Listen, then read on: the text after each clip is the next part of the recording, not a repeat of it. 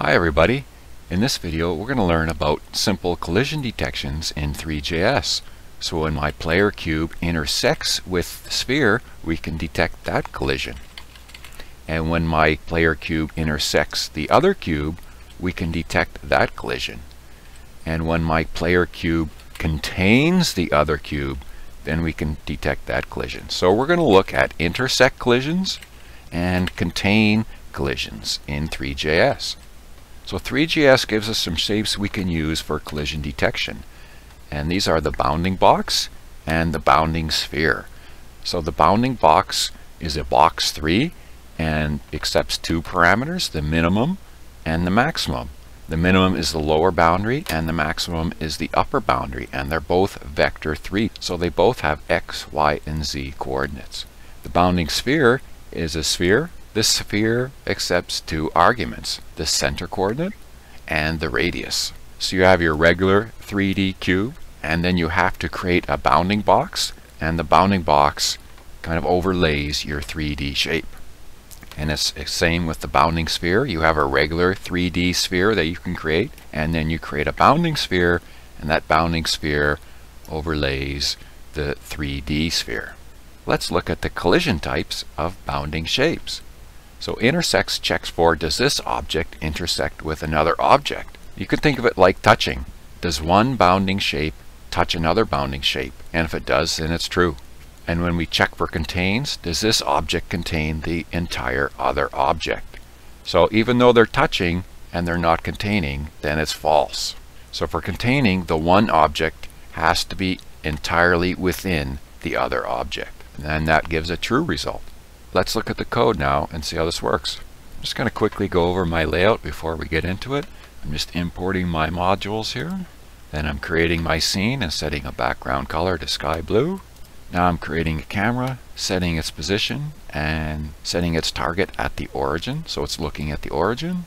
And here I'm creating my render and enabling my shadow map. And I'm creating two lights, an ambient light which casts no shadows and a direction light so I can cast shadows.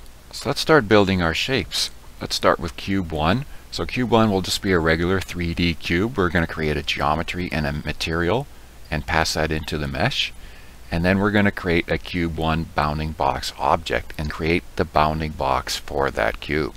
So for cube 1 I'm just creating a mesh and passing in my box geometry and a material.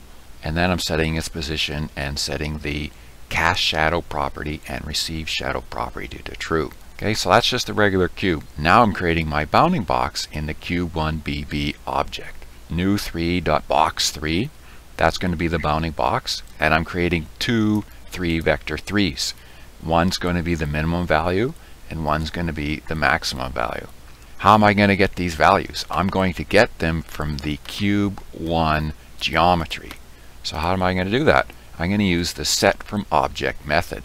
So cube1bb set from object and which object am I setting it from? This cube1 object. And if I console log this cube1bb object, it says box 3 and if I open it, it has a maximum value and a minimum value as vector 3's and that's our bounding box.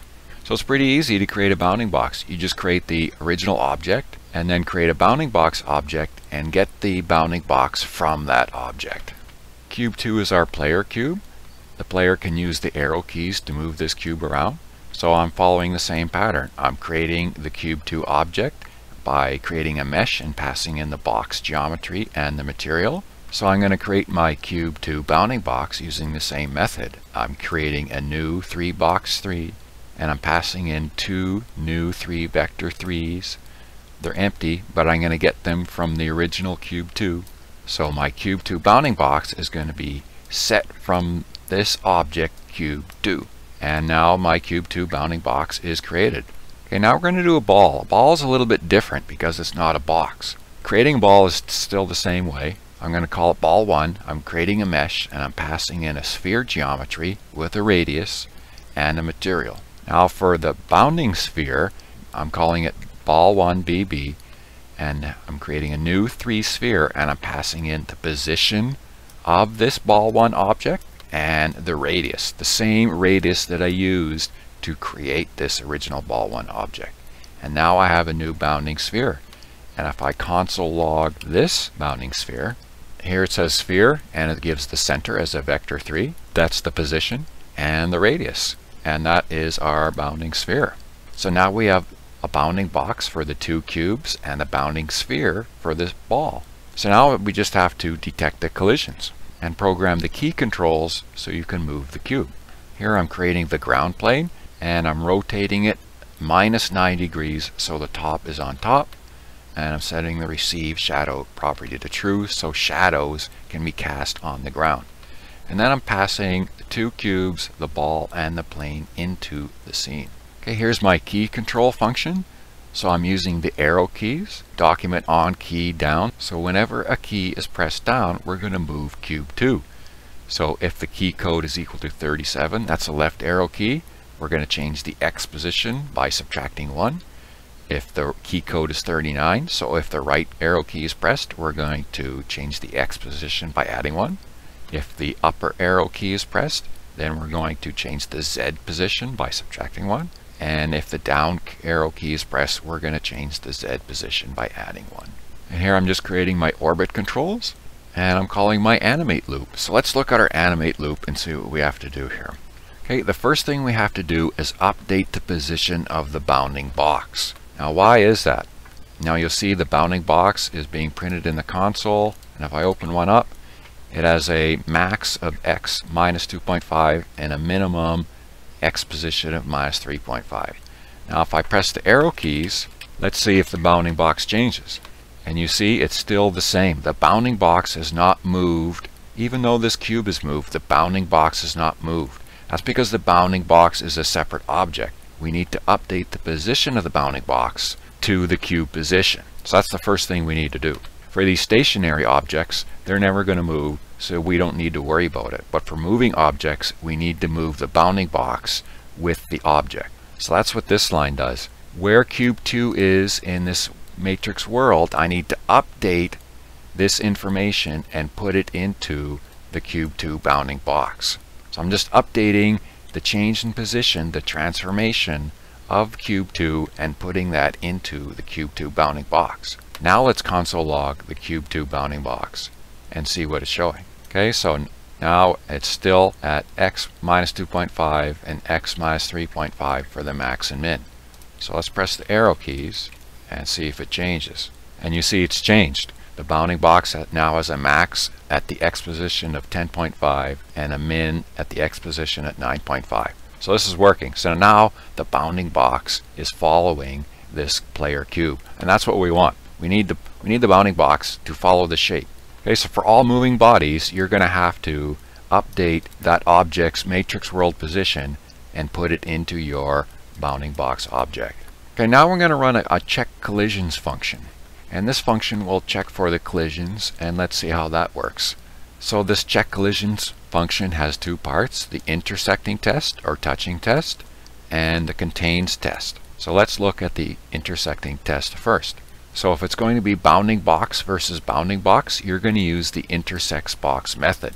So is the cube 2 bounding box intersecting with the cube 1 bounding box? And it's going to be a true or false. It's a boolean. If it's true, it's going to run this animation. If it's false, it's going to show the normal opacity for that cube, cube 1. And animation 1, we're changing the cube 1 transparent property, we're changing the cube 1 opacity property of the material, and we're changing the cube 1 color property of that material. And for the player and the sphere bounding shapes, if the player's boundary box is intersecting with the ball's sphere, then we're going to run animation 2. Else, we're going to set the ball's material opacity to 1, which is its normal appearance. And in the animation, animation 2, we're changing the ball's transparent property, we're changing the ball's opacity property, and we're changing the ball's color property. Okay, so these are the intersect box and intersect sphere methods. Box on box, box on sphere. Now for the contains test, the contains test only checks box on box. It does not check box on sphere. I'm checking if the player's boundary box contain box, contains box is the method, contains the other cube's boundary box. If that one boundary box is within the other boundary box, I'm going to change the Y scale of the player cube. If it's not, if it's false, then the player's Y scale will be normal, which is 1. So that's how you can do simple collision detection in Three.js.